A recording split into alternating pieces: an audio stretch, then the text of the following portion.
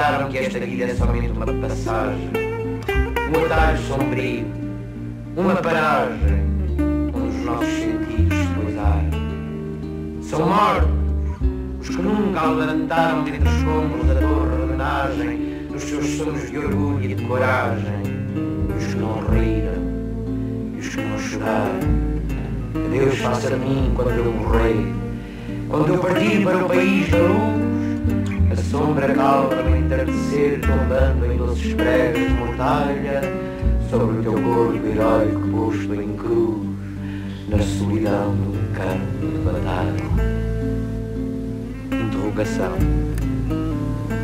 Quem fez o sapo, o leito carmesim das rosas desfolhadas à noitinha?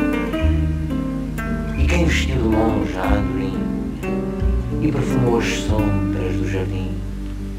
Quem cinzelou estrelas no jasmim? Quem deu esses cabelos de rainha ao girassol? Quem fez o mar e a minha alma a sangrar?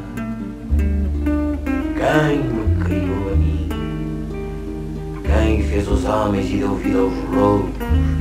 Santa Teresa em místicos arrobos e os monstros, e os profetas e o ar.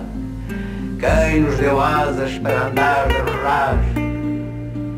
Quem nos deu olhos para ver os astros? Sem nos dar braços para os alcançar.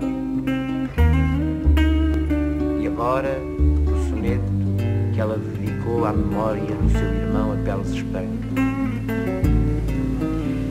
Na cidade de Assis e de santo três vezes santo, andou pregando que da chuva, da flor, do rócio branco, da pobreza o tristíssimo flagelo, de tudo quanto há de vil, quanto há de belo, tudo era nosso irmão. E assim sonhando, pelas estradas da Umbria fui forjando da cadeia de amor o maior elo. Olha o nosso irmão sol, nossa irmã, ah, poverelo. Em mim essa lição perdeu-se como vela em mar de mágoa batida de trabalho. Eu fui na vida a irmã de um só irmão e já não sou eu.